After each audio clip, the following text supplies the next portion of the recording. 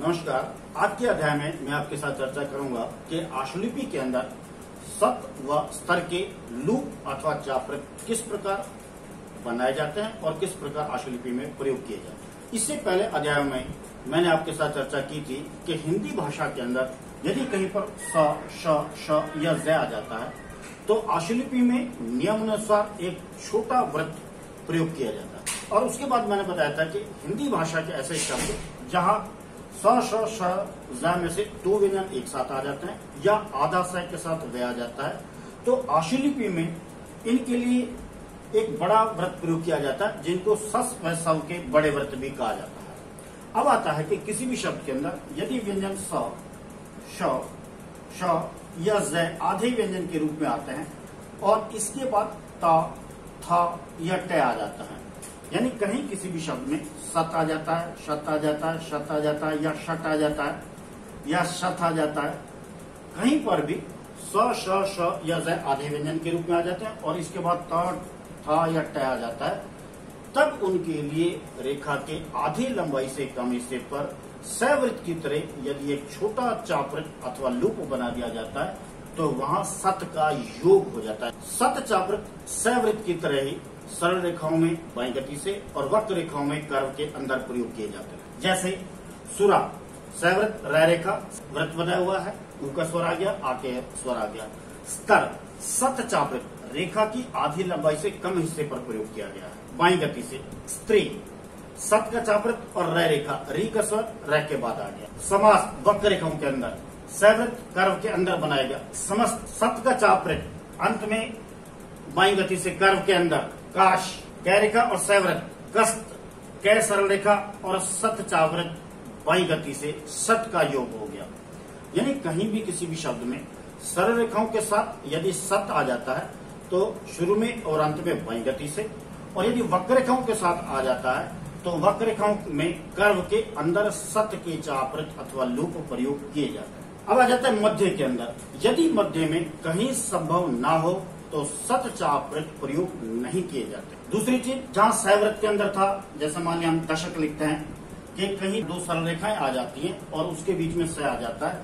तो सवृत दो सरल रेखाओं के बीच में जो कोण बनता है, कोण के सिरे पर बनाया जाता है। लेकिन यदि दो सरल रेखाओं या दो वक्र रेखाओं में के बीच कहीं भी अगर सत आ जाता है, यदि वहाँ आप सुविधा अनुसार प्रयोग कर सकते हैं तो उसका बनाया जाएगा। यदि सुविधा अनुसार प्रयोग नहीं कर सकते तो नहीं बनाया जाएगा।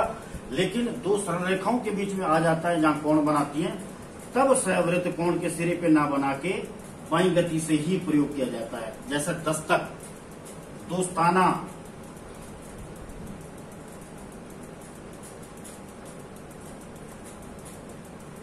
ये दो का स्वर हो गया, सात के बाद आ का स्वर, न के पहली तरफ़, ये ना का स्वर।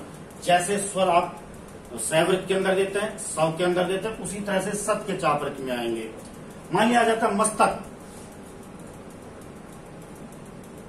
ये मस, ये सत और ये कै। यदि यहाँ बीच में, अब क्योंकि यदि आप यहाँ सत का चापृत प्रयोग करते हैं तो इस तरह से लगता है कि जैसे सैव्रत बनाया गया तो सत चापृत में, यदि मध्य में कहीं भी सत चापृत बनाना संभव नहीं है तो उसका प्रयोग नहीं किया जाएगा। इसके अलावा, जैसे आ गया मुस्तैदी। यानी मैं आ गया, ये सत का चापृत और ये दे आ गया, मुस्तैदी। यहाँ बीच में सत चापृत बनाया जाना संभव है तो यहाँ बीच में बनाया जाएगा। और यदि कहीं भी बीच में चाहे सरल रेखा होती है या वक्र रेखा होती है, यदि बीच में सत चापृत बनाना संभव नहीं है तो वहाँ इसका प्रयोग नहीं किया जाएगा। और जहाँ दो सरल रेखाएँ कोण बनाती हैं तो ये वहाँ पर भी सरल रेखाओं के साथ बीच में भी बाई गति से ही प्रयोग किया जाएगा। किसी भी शब्द के शुरू में या अंत में कहीं सत या शट आ जाता है और उससे अगर शुरू में आता है, उससे पहले यदि स्वर होता है। यदि अंत में आ जाता है तो इसके बाद कोई स्वर होता है, क्योंकि मैंने बताया हुआ सैव्रत के अंदर भी बताया होता सौ के चापृत में बताया था। और अब इसको दोबारा दोहरा रहा हूँ कि आशुलिपि के अंदर एक नियम है, प्रारंभिक स्वर के लिए प्रारंभिक रेखा लिखना ज़रूरी है और अंतिम स्वर के लिए अंतिम रेखा लिखना ज़रूरी है। यदि वहाँ शब्द के अंत में अगर स्वर आ जाता है अंतिम स्वर के लिए अंतिम रेखा लिखना ज़रूरी है। जैसे मान लिया, मस्त, मैं, ये सत चापृत अब आ जाता है मस्ती। मैं, ये सत, ये तय, ये मस्ती। अब क्योंकि ई का स्वर है, इसके लिए आपको तय रेखा लिखना ज़रूरी है। कष्ट। ये सत सच्चापित आ गया, लेकिन आ जाता है पुष्टि। स्वर है, तब ये पूरा लिखा जाएगा। पुष्टि क्योंकि अंतिम स्वर के लिए अंतिम रेखा लिखना ज़रूरी है। इसके अलावा, अंग्रेज़ी के शब्द, जैसे स्टेट स्टॉक स्टोर इस तरह के शब्दों में भी ये सत या सत के चापरित अथवा लुक प्रयोग किए जा सकते हैं। जैसे मान लिया आप लिखते हैं स्टॉक सट आ गया, ये कै के साथ ये चापरित रेखा की आधी लंबाई से कम हिस्से पर आ का स्वर कै पहली तरफ़ आ गया आप लिखते हैं स्तूर सत चापरित और यह रह ओ आ गया। रेखा की आधी लंबाई से कम हिस्से पर। या स्टोर ये सत चापरित और यह रह, ये स्टोर इसके अलावा हिंदी भाषा के ऐसे शब्द जा, स, श श, या, ज आधे व्यंजन के रूप में आ रहे हैं। इसके बाद त, थ या ट आ जाता है और उसके बाद रे आ जाता है। यानी कहीं स्तर आ जाता है, स्तर आ जाता है, स्तर आ जाता है तो उसके लिए एक बड़ा चाप्रत प्रयोग किया जाता है। जिस चाप्रत की लंबाई रेखा के आधे से ज़्यादा हिस्से पर प्रयोग की जाती है। जैसे जैसे मान लिया हम लिखते स्तर।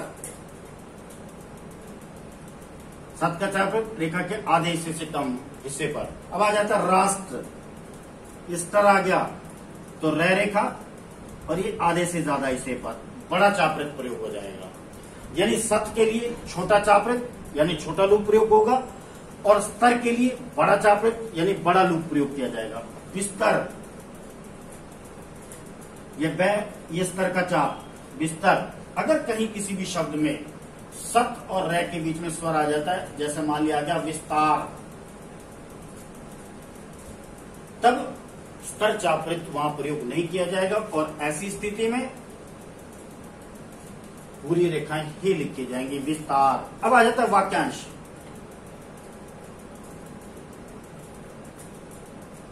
सबसे पहले मैंने बताया था आपको, कहीं किसी भी शब्द में सा, से, सी या पास आ जाता है तो उसके लिए एक व्रत प्रयोग किया जाता है वाक्यांशों में। यदि कहीं के पास आ जाता है तो कै रेखा और सैव्रत प्रयोग किया जाता है। यदि कहीं के अनुसार आ जाता है तो कै रेखा और सैव्रत दाई गति से। और इसके अलावा सब और सस में आप कहीं भी दो शब्द चिन्हों को मिलाकर एक बड़े व्रत का प्रयोग कर सकते हैं। अब आ जाता है कहीं किसी भी शब्द में, यदि साथ आता है तो साथ को लिखने के लिए आप छोटे चापृत का प्रयोग कर सकते हैं। जैसे मेरे साथ। ये मेरे का चिन्ह है साथ के लिए सैव्रत सत चापृत यदि आप आप मेरे पास लिखते हैं तो मैं रेखा और ये सैवृत आ जाएगा मेरे पास। और यदि सत चापृत बनाते हैं तो हो जाएगा मेरे साथ। इसी तरह से यदि कहीं किसी भी शब्द में के साथ आ जाता है तो के साथ को एक साथ लिखने के लिए कै रेखा और सत चापृत साथ मिलाकर लिख देते हैं। जैसे, उसके साथ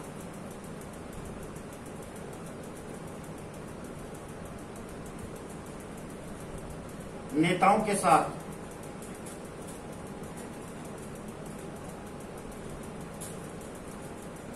नेताओं, ये के साथ बहुचन का संकेत। सबके साथ।